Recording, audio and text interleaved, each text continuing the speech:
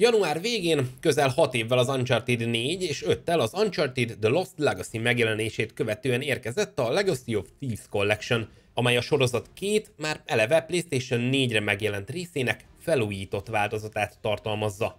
A játékok eredeti mi voltukban is gyönyörűen mutattak, de a Naughty Dog a PlayStation 5 által kínált lehetőségeket kihasználva képes volt fokozni az élményt. Ebben a videóban elmondjuk, mi az a négy újítás, ami miatt szerintünk azoknak is érdemes újra nekifutni, akik az eredeti játékokat már jól ismerik.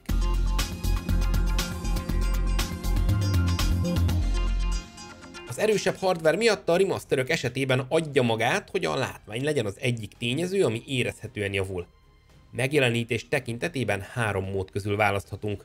A Fidelity natív 4K-s felbontást kínál 30 FPS-es képfrissítési sebesség mellett, a Performance 1440p-ről felskálázott 4K-s képet mutat, de 60 FPS-es képfrissítéssel gördül a játék, azok pedig, akiknek 120 Hz-es tévéjük van, a Performance Plus móddal 1080p-s felbontás mellett 120 FPS-sel játszhatnak, ami tényleg kivételes élmény. Annak, aki Full HD kijelzőt használ, ugyancsak érdemes a Performance módot választani, mivel a rendszer ilyenkor lefelé skáláz és javítja az élsimítást.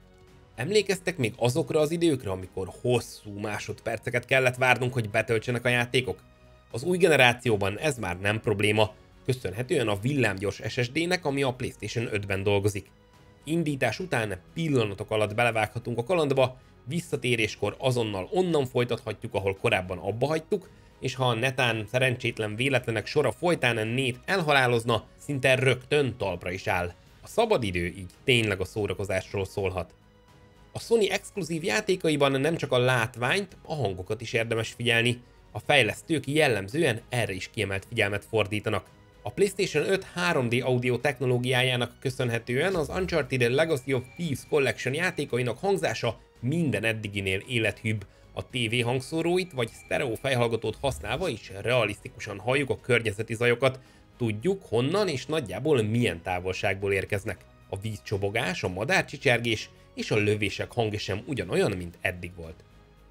Már a PS5 megjelenése óta tudjuk, hogy a DualSense valóban egy következő generációs kontroller, melynek funkcióit az Uncharted játékok is teljes mértékben kihasználják.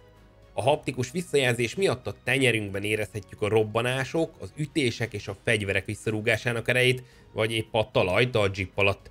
Az adaptív ravaszok pedig remekül átadják a kötelek feszülését, az autó pedáljainak és a fegyverek ravaszainak ellenállását. A kontroller minden mozzanatra reagál, és mindenre más intenzitással.